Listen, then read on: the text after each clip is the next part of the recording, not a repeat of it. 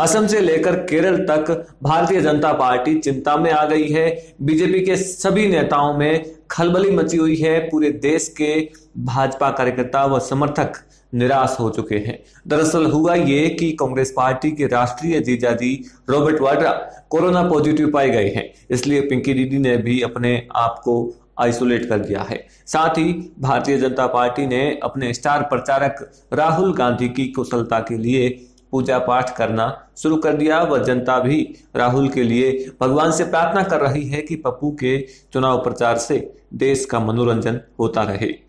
अब जहाँ एक तरफ़ भाजपा व कॉमेडी किंग पप्पू के दीवाने ये खबर सुनकर निराश हो गए हैं, वहीं पिंकी दीदी, रॉबर्ट वाड्रा के कोरोना पॉजिटिव वाली खबर सुनकर खुश नज़र आ रही है।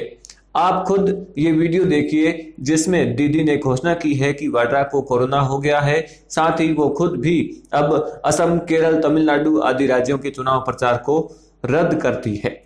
लेकिन इसमें पिंकी दीदी हमें ये बताए कि खुश होने वाली कौन सी बात है? और अंत में तो वो हंस पड़ती है।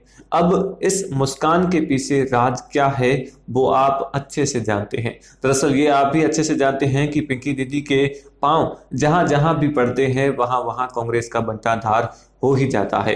वैसे दीदी को हमारे पप्पू जितना लंबा राजनीतिक अनुभव तो नहीं है, फिर भी कांग्रेस के उद्धार के लिए वो भी बराबर की भागीदार है। पिंकी दीदी का तो जलवा आपने देखा ही होगा। यूपी विधानसभा चुनाव में जहाँ की वो प्रभारी थी और अमेठी समेत पूरे उत्तर प्रदेश में कांग्रेस का सुपड़ा साफ़ करने में अहम भूमिका निभाई थी। लेकिन भाजपा की चिंता पिंकी दीदी को लेकर नहीं है, बल्कि हमारे चमन पप्पू को लेकर है।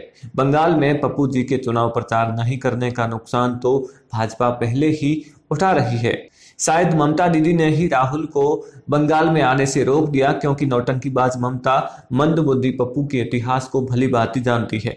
अब ममता का डरना भी लाजमी है, वो इसलिए क्योंकि अभी हाल ही में पप्पू ने पुडुचेरी में अपना जलवा दिखाते हुए बनी बनाई सरकार को गिरा दिया था। आपको बता दें कि पप्पू के दौरे के तुरंत पुडुचेरी में कांग्रेस समर्थित सरकार धराशायी हो गई थी।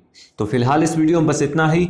आपकी क्या राय है? पप्पू और पिंकी के बारे में कमेंट करके ज़रूर बताएँ। वीडियो पसंद आए तो लाइक कीजिए, शेयर कीजिए और ऐसी ही वीडियोस के लिए अपना इंडिया चैनल को सब्सक्राइब कीजिए। जय हिंद, जय भारत।